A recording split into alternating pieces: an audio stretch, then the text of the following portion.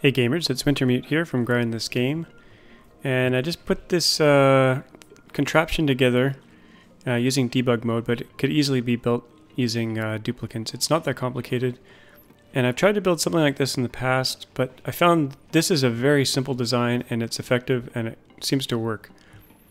So I'll just explain what it's doing here.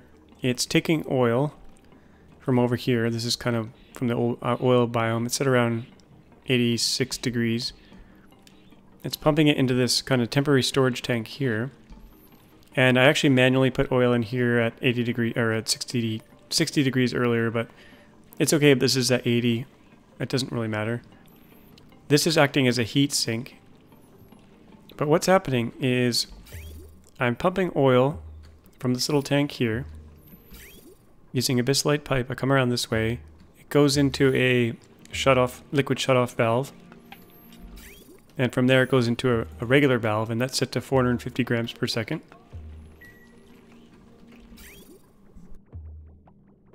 And then it comes along here, and it drips in here. And initially this container's empty, or with CO2 or whatever gas, doesn't really matter.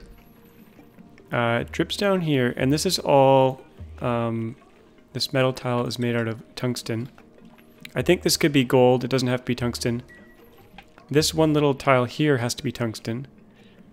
Uh, so what you do is you just get a dupe to build that after they basically build it on top of the abyssalite and it'll replace the abyssalite. And now this magma is at 1500 degrees.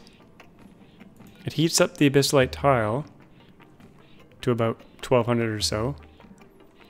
And then this, what happens is this oil comes along this metal tile and it's, it's hot here because of the, uh, okay. Basically the oil is rolling along, drips down here, uh, gets heated up to, I think 400 degrees first of all. That's the boiling point of oil. And then it turns into petroleum. Let's just get some petroleum here. And then the petroleum boils at 538 degrees Celsius and turns into natural gas. So it's kind of like a flash evaporation process. It's going quickly from oil to petroleum to natural gas, and the natural gas is building up in here. But natural gas at 260 degrees or so is not useful because you can't pump it. The pump melts melts down at 125 degrees. So in order to cool it, as you come along this way, um, it's basically cooling as it comes along because this cooler and cooler oil is absorbing the heat. And then right here, uh, this area is quite cool because the heat is being transferred through this metal tile into this oil here.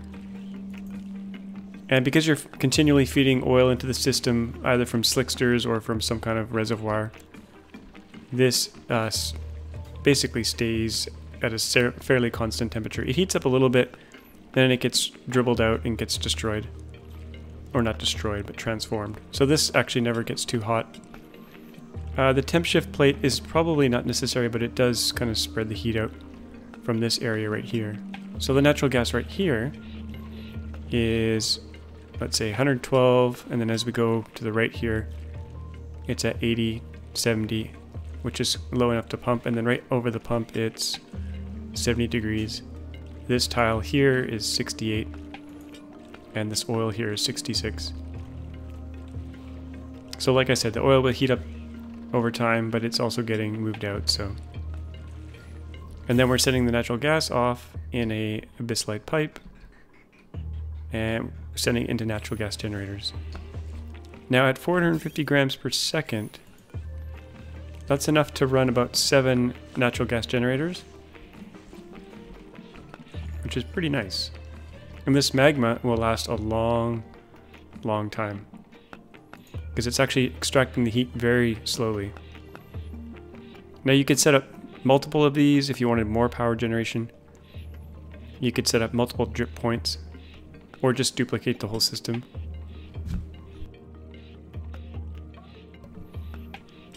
So I thought I'd share just a very basic design. I think all the pipes in here are abyssalite, liquid and gas. just to maintain temperature. And there's some regulation right down here. If too much oil spills over here and gets turned into petroleum, it would kind of build up and it wouldn't it wouldn't work anymore. So this regulation here, it's a liquid sensor and if it's below five kilograms, it will run, but if it gets if it accumulates here, it'll shut off this it'll turn this liquid shut off.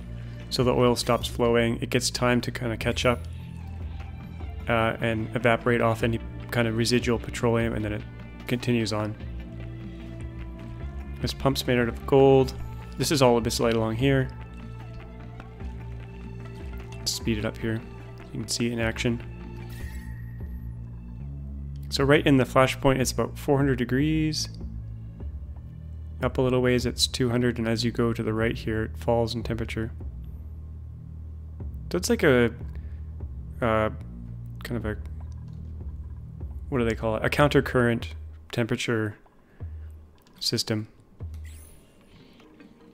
The oil is getting hotter as it goes this way and gets preheated, so that doesn't have to be warmed up as much. So right before it drips off, it's 200 degrees. And this whole thing is 20 tiles long. 21 if you count this last little bit.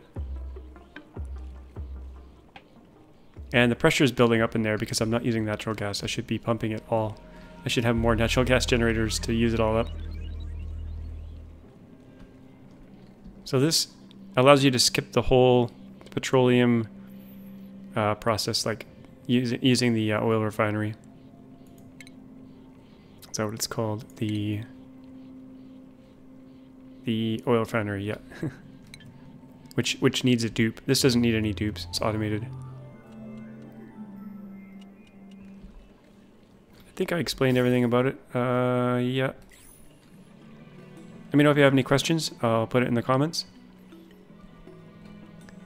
Uh, hope you enjoyed that. As always, thanks for watching, and we'll see you guys next time.